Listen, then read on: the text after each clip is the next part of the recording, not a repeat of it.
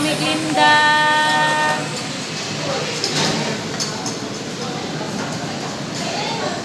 Hello.